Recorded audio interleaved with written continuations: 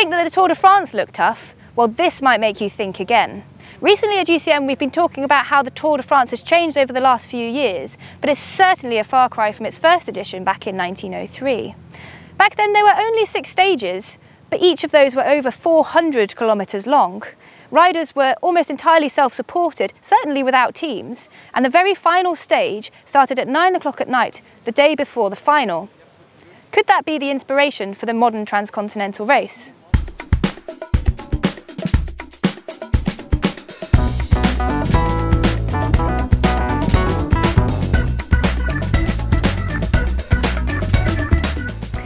Here on the iconic cobbles of the Muur van Geraardsbergen in Flanders, a climb that is steeped in cycling history. And it's the start of the transcontinental race, arguably the toughest race of all time.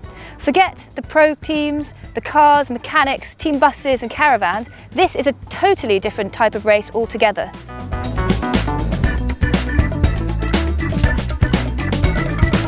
The Transcontinental is a self-supported ultra-endurance race from here in Belgium crossing the entire continent to Meteora in Greece. And it's not just the mega distance that challenges the 240 riders, but the format of this race. Rather than providing a fixed route, the riders must plan their own routes, taking in the four control points along the way. And they're not exactly easy either, this year featuring the Bialowo Pass in Austria and the Karkonoska Pass in Poland, as well as the checkpoints in Slovenia and Bosnia, and that last one is gravel too. Now in its sixth year, the race is organised by the very close friends and family of the race founder and ultra-endurance legend Mike Hall. They call themselves the Lost Dot, and together with a team of over 50 volunteers, both marshal the control points and will be watching out for the riders online through their spot trackers, something which they call dot watching.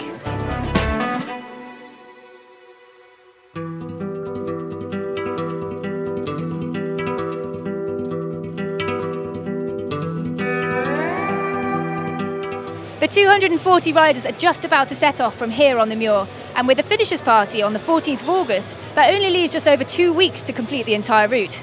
Some of these riders will be racing as hard as they can, but others set their sights simply on finishing, which is no mean feat in itself. If previous editions are anything to go by, only 50% of these riders will make it to Meteora at the finish, and only half of those will make it within the two week window. There are 10 rules of the race, and they put rider safety at the forefront. Really, the most important is the 10th rule ride in the spirit of self reliance and equal opportunity, which means that once they leave here, all riders are completely self supported unless they take assistance that's commercially available to all. So, whether that's getting your bike fixed in a shop, taking a meal in a restaurant, or staying the night in a hotel.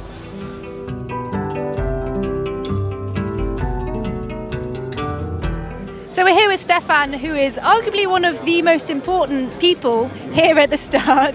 You've got a very important job both today, the lead up to the race, and tomorrow. Can you tell us what that is? I try to fix things for people who are in need of something getting fixed. It's not your first year doing this. I understand you've done it for Five years. five years.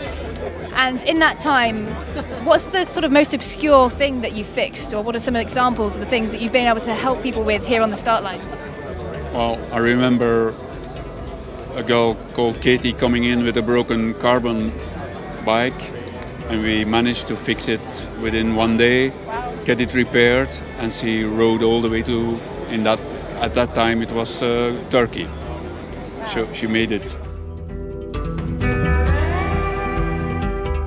Out of the 500 people that applied for this year's Transcontinental, 240 of them are here at the start, 20 of which are in pairs. They age from 21 to 66 years old and they hail from 34 different countries, from as far as India, China, New Zealand and America.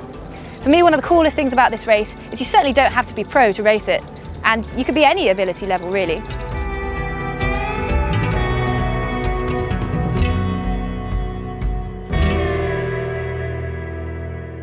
We're here with the 2015 TCR winner and friend of the channel, Josh Ibbott. Josh, what would be your best piece of advice to the riders about to set out tonight? My best piece of advice would be ride within your limits and know yourself, know your body, and don't try and push yourself further than you think you need to, especially on the first night. Because if you push too hard too early, you would definitely pay for it later on. So, yeah, hold back a little bit. That sounds very sensible. And from your 2015 experience when you won, what was your best memory? Can you think of just one? Um, there's probably no one set memory. It was probably very specific moments. I think actually, yeah, the, the very best memory that always sticks to my mind is when I got to the checkpoint three and I knew I'd kind of taken the lead for the first time. and that's the one kind of ecstatic memory because I felt like it was, you know, it was working. I bet you're pretty stoked after that to get to the finish in the lead. Well, yeah, I was just glad to survive and get there in one piece and actually be able to stop riding my bike. It's pretty miserable, really. and finally, Josh, who are your top three riders to watch this year? Uh, top three, I think, is experienced riders. There's probably going to be some new riders who who will be very fast, but experience counts on this race. So I think, in reverse order, uh, Bernd Paul, he's proven.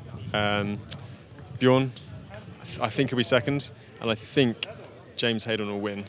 But I think it'll be very close. But I think James will come through in the final in the final few few days. I think we'll get it. Oh, we'll just have to wait and see. Yeah. yeah.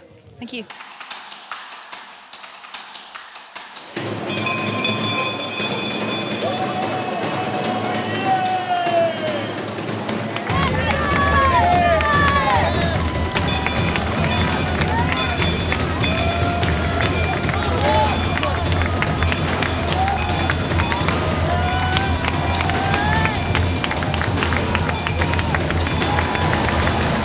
You want to follow the Transcontinental Race, we'll put a link to the website down in the description, and you can follow on social media using the hashtag TCR number six.